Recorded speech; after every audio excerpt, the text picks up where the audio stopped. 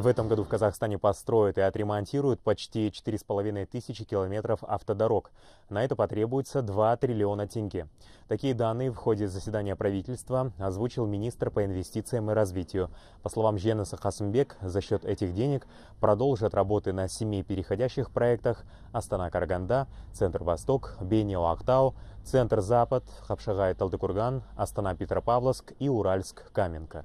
По итогам этого года планируется завершить работы на более чем 600 километрах. Также намерены начать 16 новых проектов.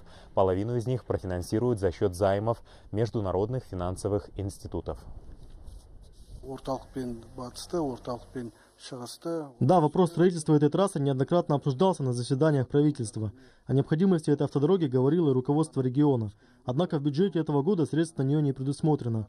Мы планируем начать реализацию этого проекта в следующем году.